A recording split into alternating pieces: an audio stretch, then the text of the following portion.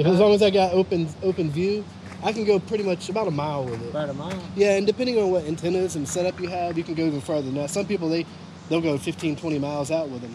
As long as they've got a decent setup, a good uh, antennas and stuff.